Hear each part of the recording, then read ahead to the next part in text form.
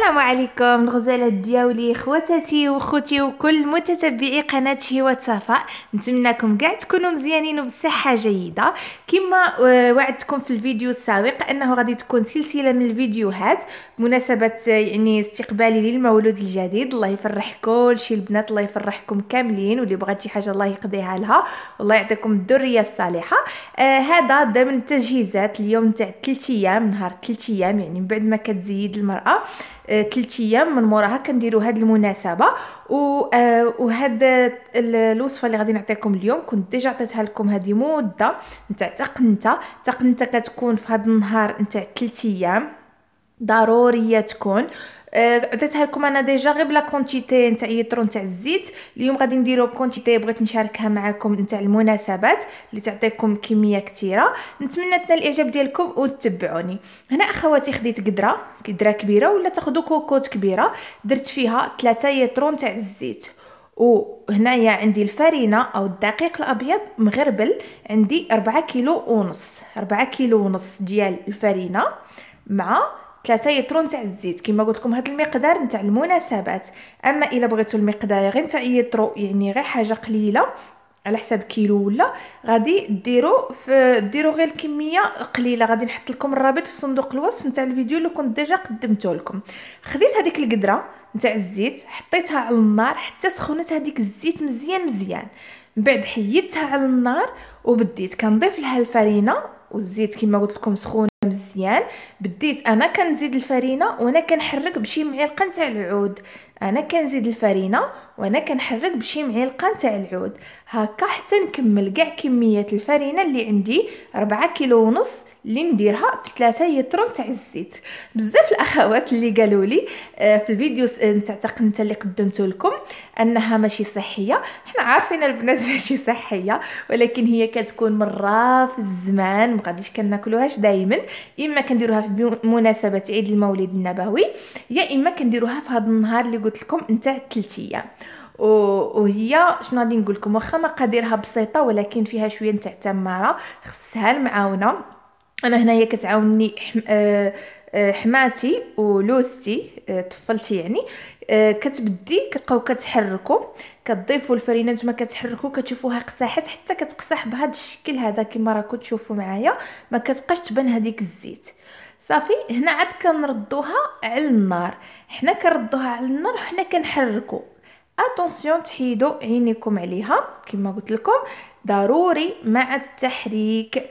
نتوما دائما المعلقه نتاع اللوح وتكون المساعدة تكون معك وحدة من العائلة ولا اللي كتحرك معاك هكا باش ما كنعياوش. وكنبقاو كنحركو هي كتطلق روحها كما شفتوا دابا بدات كتطلق روحها مبقاتش هذيك الفرينة شادة. حنا كنحركو وهي كتطلق روحها وفي نفس الوقت كيتغير اللون ديالها. كنستمروا بهاد العملية هذه وكما قلت لكم ضروري طيبوها في شي حاجة اللي تكون ثقيله باش ما تشمتكمش إما طنجرة إما كوكوت. صافي هنا كما شفتوا بدا كيتبدل اللون ديالها حتى كيولي البني ولكن ماشي بني foncé بزاف حيت واخا كطفيو لها كتولي عليها ديك السخانة وكتزيد عاد كطيب. هنا كما شفتوا بغيتها في هذا اللون تبيتوها ليلة كاملة هكا.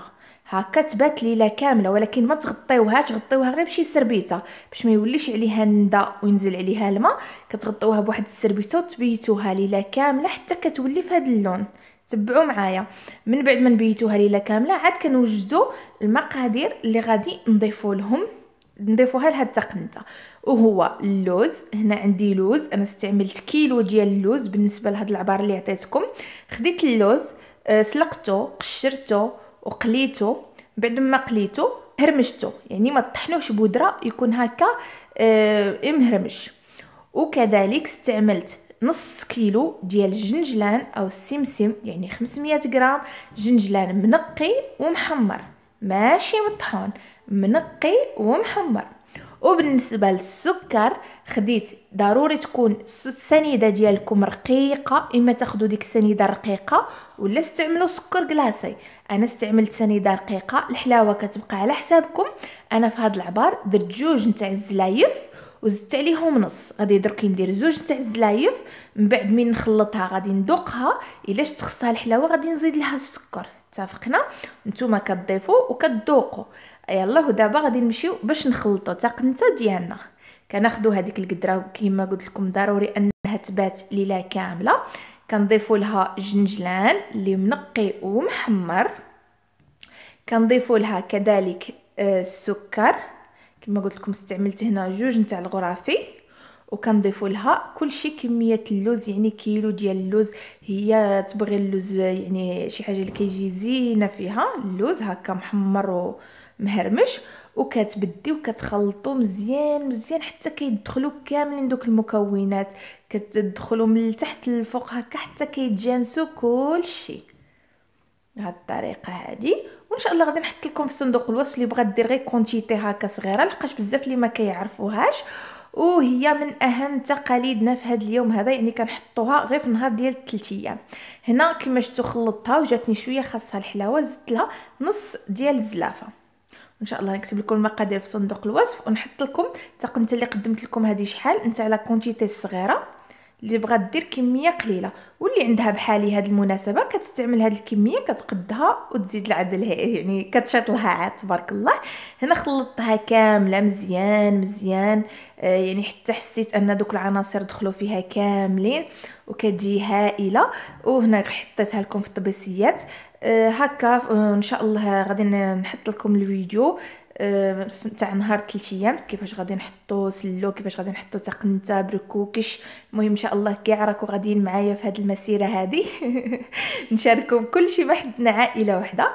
هي كتزين هكا باللوز كتقدم في أطباق صغيرة هكا. كتجي لذيذة بزاف كما قلت لكم ما كناكلوهاش دائما كناكلو كناكلوها مع الخبز عاود كتجي زينة مع الخبز. نتمنى تعجبكم حبيباتي وانتظروني في الفيديوهات القادمة. تنساوش لايكاتكم تعليقاتكم وإلى اللقاء يا أغلى صديقات.